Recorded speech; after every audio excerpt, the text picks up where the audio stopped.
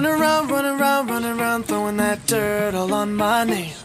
Cause you knew that I knew that I knew that I'd call you up. Hello everyone! Come back with me, Siti Hofi Famartoan in Rumpi, No Secret. It's special episode because now I am ready in Australian Park in Ambon City. So let's start! Now I have been with a woman who will share a little about her experience in studying in English Education Study Program. She is Rizki Yanti. Hello. She is a student of Pattimura University, especially in English Education Study Program. We are going to learn from her experience. So, how are you, Rizki? Oh, I'm good. How about you, Tifa? I'm good too. Oh yeah, I want to ask you about your experience when you study in English Education Study Program. Oh, yes, of course. So, what do you want to continue your education in English department at Pattimura University? Oh, yeah. Uh, I have two reasons for that. Uh, actually, I'm really interested to learning English since I was in senior high school. My teacher taught us about the importance to learn English because English is one of the keys to go abroad. That's tour, I think, wow, it sounds good, you know. So I decided to study English. On the other hand, um, I learned English because I want to be a professional teacher. So I choose English department to make my ability in English better. So, in the world, everyone can face their consequence in their life, and they are going to face in every decision they take. And as we know that it is a common thing for everyone, right? I believe that also happened to you. So I want to know what are the challenges for you when you study in English education study program, and how how do you face how do you face all the challenges? Okay. So uh, actually, you are right, Shiva. Uh, because everyone in the world they will face that there are uh, some consequences in their life, and also me too.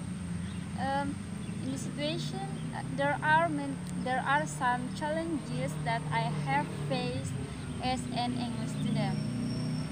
So okay, uh, as you know that English is not our local language, right? So learning English, uh, I can say it's become a special challenge for me.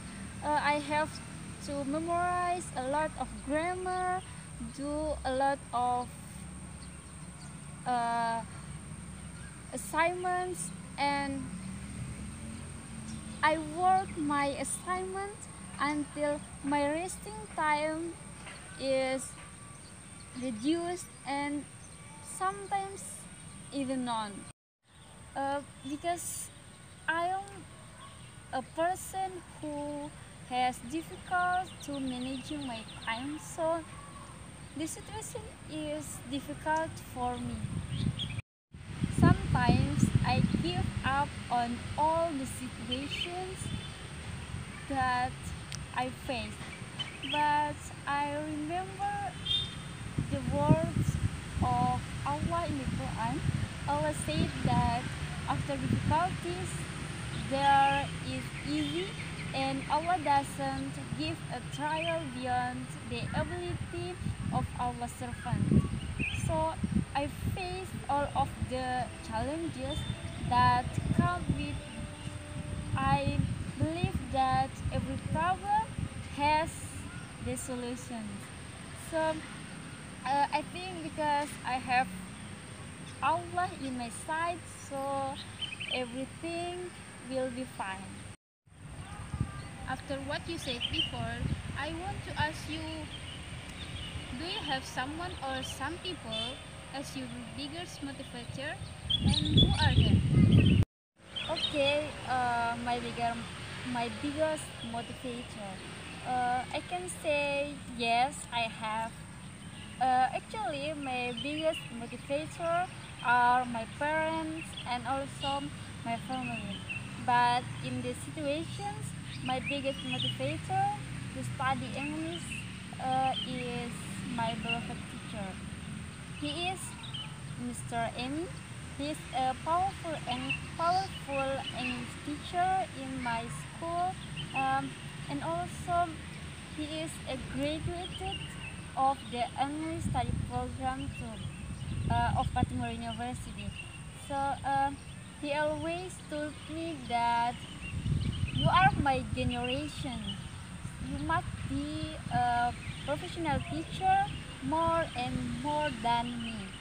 So, uh, moreover, he wants me to replace his position as an English teacher because in our village, uh, the English educator are very limited. So I think uh, I want to realize I want to realize this dream to be a prof- professional English teacher. That's it. That is very interesting experience. Okay, thank you for coming. I hope your experience can be a lesson for everyone. Okay, you're welcome, Tifa.